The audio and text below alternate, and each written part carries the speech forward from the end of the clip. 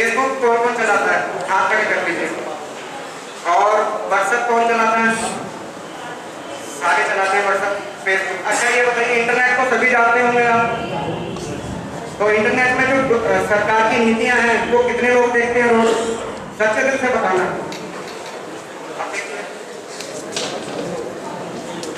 सिर्फ़ दो तीन लोग देखते हैं नीतियाँ जो सरकार की हैं। देखिए जो बिज़नेस की शुरुआत है बिज़नेस की शुरुआत होती है आइडिया से। जब हमारे माइंड में कोई आइडिया आता है तो हमने उसको इम्प्लीमेंट करना होता है सेकंड स्टेज पे तो वो कैसे करेंगे हम? क्योंकि हमारे पास अवेयरनेस नहीं है आइडियाज़ तो हैं। आइडियाज़ तो सबके पास हो गए कि हमें ये करना है, वो करना है, फलाना करना है। पर उसे कैसे करना है? सरकार की क्या क्या नीतियाँ हैं? फंडिंग कैसे मिलेगी आपको? रजिस्ट्रेशन कैसे होंगे आपके? वो अवेयरनेस नहीं है तो बिज़नेस का एक रूल है, सबसे पहले आप अपने आप को अवेयर कीजिए, सरकार की नीतियों से क्या क्या सरकार की नीतियाँ चल रही हो। आप इंटरनेट चलाइए, एक घंटा दीजिए, जो भी सरकार की नीतियाँ हैं पूरी देखिए डे बाय डे उनमें अमेंडमेंट्स भी होती हैं। मैं ये एनएसआईसी में प्रबंधक के तौर पर कार्यरत हूँ। हमारी जो ऑर्गेनाइजेशन है 1955 से एमएसएमई की प्रमोशन ग्रोथ में लगी हुई है। मैं माफ़ी मांगना चाहूँगा कि हमें जो समय दिया गया था, वो ये 12 बजे का समय था बट कुछ व्यवस्था ऐसी थी कि हम लोग आ नहीं पाए और आपको समय भी नहीं दे पाएँगे थोड़ा। सिर्फ़ मैं आपको ब्रीफ ही करूँगा। देखिए हमारी जो एक स्कीम है सिंगल पॉइंट रजिस्ट्रेशन स्कीम पहले तो आपको ये क्लियर होना चाहिए कि एमएसएमई क्या है और इसकी प्रॉपर डेफिनेशन क्या है? अभी मैं कुछ यहाँ लोग बैठे होंगे जो ट्रेडिंग भी करते होंगे और जो मैन्युफैक्चरर भी होंगे और जो करना चाह रहे हैं मैन्युफैक्चरिंग और ट्रेडिंग मैं आपको बता दूँ जो ये एमएसएमई एक्ट है 2006 ये सिर्फ़ मैन्युफैक्चरिंग और सर्विस इंडस्ट्रीज़ के लिए है। ट्रेडर्स के लिए अभी इस एक्ट के तहत कोई फैसिलिटी नहीं है। मैन्युफैक्चरिंग की डेफिनेशन माइक्रो में अगर आपकी इन्वेस्टमेंट मशीनरी पर 25 लाख तक है तो आप माइक्रो कैटेगरी में आते हैं। स्मॉल पच्चीस से लेके 25 लाख से लेके 5 करोड़ तक अगर आपकी इन्वेस्टमेंट है मशीनरी पर तो आप स्मॉल कैटेगरी में आते हैं। और 5 करोड़ से 10 करोड़ तक है इन्वेस्टमेंट तो आप मीडियम कैटेगरी में आते हैं। और सर्विस कैटेगरी जो इसकी अलग डेफिनेशन है। इसमें हम मशीनरी वर्ड यूज़ नहीं करते।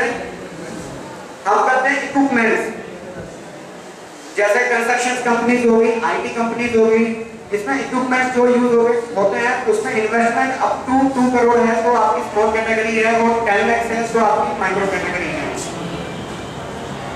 हमारी एनएसआईसी की एक स्कीम है सिंगल पॉइंट रजिस्ट्रेशन स्कीम कुछ उद्योगी भाइयों को पता होगा और बहुत सारे जो अवेयर भी होंगे। देखिए, सरकार की एक प्रक्रिया होती है प्रिक्योरमेंट की। चाहे वो रेलवे हो डिफेंस हो, कोई भी डिपार्टमेंट हो उनकी बल्क परचेजेस होती हैं। और इसका एक सिस्टम होता है टेंडरिंग सिस्टम ये टेंडर फ्लो करते हैं और आपको टेंडर में पार्टिसिपेट करना पड़ता है। जिसका एल आता है रेट उसी को वो टेंडर अवार्ड होता है। बट इसमें एक सबसे बड़ी चीज़ क्या है कि जब भी आप टेंडर में पार्टिसिपेट करेंगे तो हर एक टेंडर में आपको ईएमडी लगानी पड़ेगी, जिसे बोलते हैं अर्नेस्ट मनी डिपॉजिट अगर आप माइक्रो लेवल की यूनिट्स हैं छोटे छोटे व्यापार हैं यहाँ पे, अगर अगर आप टेंडर में पार्टिसिपेट हर एक टेंडर में पार्टिसिपेट करेंगे और ईएमडी लगाएँगे, आप देखिए कि आपकी वर्किंग कैपिटल ही वहाँ स्टार्ट हो जाती है. आप कितना आप टेंडर में पार्टिसिपेट कर पाएँगे? तो सरकार ने इसकी ग्रोथ करने के लिए प्रमोशन करने के लिए एक स्कीम बनाई सिंगल पॉइंट रजिस्ट्रेशन स्कीम। आप इस स्कीम के तहत एनएसआईसी में रजिस्ट्रेशन करवा सकते हैं। रजिस्ट्रेशन करवाने के बाद आप ऑल ओवर इंडिया जितने भी सेंट्रल गवर्नमेंट पीएसयू हैं या सेंट्रल गवर्नमेंट डिपार्टमेंट हैं, आप उसमें टेंडर पार्टिसिपेट करेंगे। आपको वो ईएमडी नहीं लगेगी। आपको ईएमडी एक्सेप्शन मिलेगा। और मैं बता देता हूँ, इसमें जो स्पेशल कैटेगरीज हैं S C S T and women S C S T categories के लिए। इसमें एनएसआईसी कोई चार्ज नहीं लेता ये फ्री ऑफ़ कॉस्ट है। जनरल कैटेगरीज के इस- इसमें फ़ीस आप देखेंगे टेन थाउज़ेंड से लेके वन लाख तक मैक्सिमम फ़ीस है, जो S C S T categories के लिए ये फ्री ऑफ़ कॉस्ट है। ये स्कीम का सबसे बड़ा फ़ायदा होता है, और जो एनएसआईसी के साथ एक बार रजिस्ट्रेशन हो गया तो आपको डिपार्टमेंट इजीली टेंडर अवार्ड करता है। क्योंकि हमारी इसमें एक थर्ड पार्टी इंस्पेक्शन होती है हम आपको, आपके पूरे क्रेडेंशियल लगा के उसमें आपको सर्टिफिकेट इशू करते हैं। जिसमें भी आप डिपार्टमेंट में पार्टिसिपेट करेंगे। आप दिखाएँगे कि साहब तो एनएसएस में रजिस्टर है। तो आपको वो टेंडर अवार्ड इजीली हो जाता है। प्रोवाइडेड कि आपका रेट एलवन हो। और इसमें S C S T categories के लिए फोर परसेंट का आपको रिज़र्व रखा गया है। देखिए जो सबसे बड़ी मैं एग्जांपल देता हूँ, रेलवे की प्रोक्योरमेंट एक साल की तकरीबन बीस हज़ार करोड़ से ज़्यादा की प्रोक्योरमेंट है। उसमें ट्वेंटी परसेंट रेलवे को माइक्रो स्मॉल एंटरप्राइजेस से प्रिक्योर करना है हर साल। और फोर परसेंट रिज़र्व रखा गया उसमें, एस सी कैटेगरी के लिए, जो कि रेलवे भी अभी फोर परसेंट नहीं कर पा रही है। तो मैं चाहूँगा कि आप रेलवे में काफ़ी प्रोडक्ट्स जाते हैं आप उसमें सप्लाई कीजिए आप छोटे छोटे आइटम बनाते हैं फ़ूड आइटम्स बनाते हैं, या कोई मैन्युफैक्चरिंग करते हैं ब्रेक्स बनाते हैं रेलवे के कोई भी किसी भी टाइप का रेलवे काम होता है तो आप उसमें, आप बनाइए और एन एस का रजिस्ट्रेशन लीजिए और उसमें पार्टिसिपेट कीजिए। दूसरा हमारा स्कीम है स्पेशल मार्केटिंग असिस्टेंस स्कीम और S C S T category से भी हमारे यहाँ डोमेस्टिक एग्जीबिशन लगती हैं इंटरनेशनल एग्जीबिशन लगती है। आप देखिए जो भी एग्जीबिशन आप पार्टिसिपेट करते हैं, जनरल कैटेगरी कैटेगरी वाले या वुमेन कैटेगरी वाले, उनको डिफरेंट डिफरेंट सब्सिडी है। जनरल कैटेगरी में माइक्रो लेवल को सब्सिडी है सिक्सटी परसेंट स्मॉल कैटेगरी को है सेवेंटी फाइव परसेंट और मीडियम कैटेगरी को इसमें 85 परसेंट मिडिल कैटेगरी को 40 परसेंट सब्सिडी है।